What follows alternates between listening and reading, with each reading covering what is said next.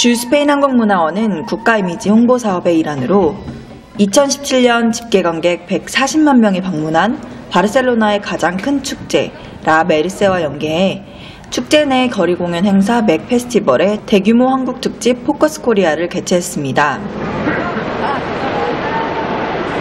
라 메르세 축제는 매년 9월 바르셀로나의 수호 성인인 메르세 성인을 기리는 종교 행사로 시작했지만 오늘날은 도시 전체에서 다양한 공연과 볼거리를 제공하여 스페인 최대 규모 축제로 잘 알려져 있습니다.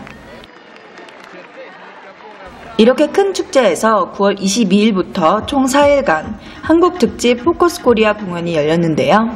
이를 위해 네 팀의 뛰어난 한국 거리 공연단이 선정되었습니다. 이 특별 기획으로 오전부터 저녁까지 전통 공연, street 댄스, 드로잉 서커스 등 다양한 한국 공연을 선보였습니다.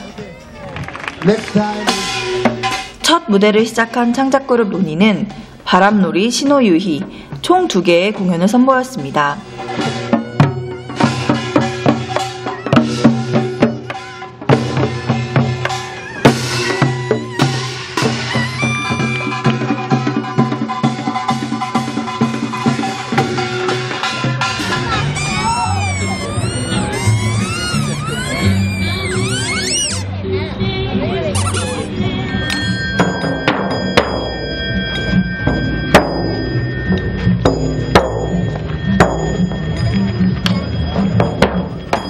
이 공연에서 새로운 형식의 길놀이와 마당극을 선보여 공원에 있는 관객들이 행렬에 뛰어들며 성공적으로 공연을 마쳤습니다. 비보이 그룹 IOF는 흥과 광탈을 공연했습니다.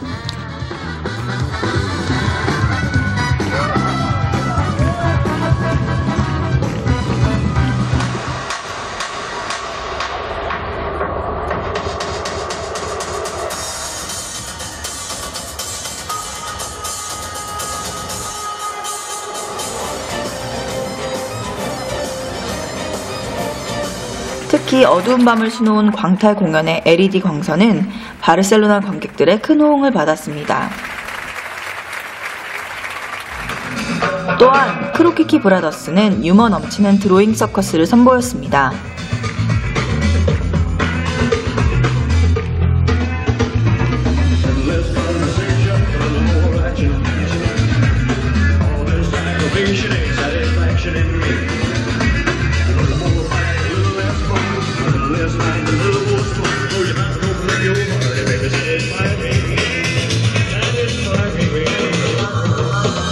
두 배우만의 독특한 감성과 다채로운 퍼포먼스로 관객들에게 시원한 웃음을 선사했습니다.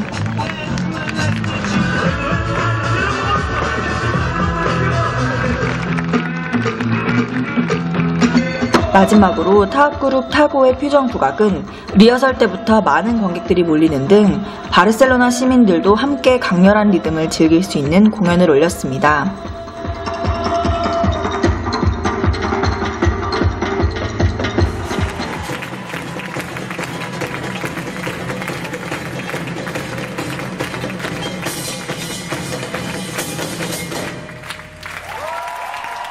그럼 바르셀로나 현지의 반응을 들어볼까요? Uh, Korean concert for me is uh, my favorite show. Nido Tago y of Crew, Krokiki Brothers, Noni in the night, very, very spectacular, amazing. It's fan- fantastic. I like it. I'm falling in love to Korea. And I want that you come back again the next year for Merced or everything To Barcelona again, please. 이처럼 큰 호응을 받은 공연들은 집계 관객 총 3만여 명을 기록하며 스페인의 한국 문화를 알리는데 큰 역할을 하였습니다. 축제를 마친 후 IOF와 크로키키 브라더스는 마드리드 루차나 극장에서 포커스 코리아 특집 합동 공연을 열었습니다.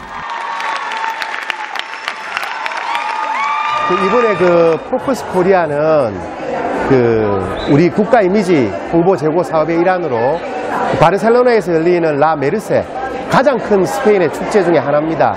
이거와 연계해서 이렇게 진행이 되었습니다. 그 이번 그 저희들이 메르세 계기로 한이 포커스 코리아는 현지인들에게 우리의 그 우수한 그 공연 콘텐츠를 소개하는데 좋은 기회가 되었다고 생각합니다. 스페인의 가장 큰 페스티벌 중 하나인 라 메르세를 통해 스페인의 대표 도시인 마드리드와 바르셀로나 시민들에게 다양한 한국의 공연 예술을 선보일 수 있는 아주 뜻깊은 시간이었습니다.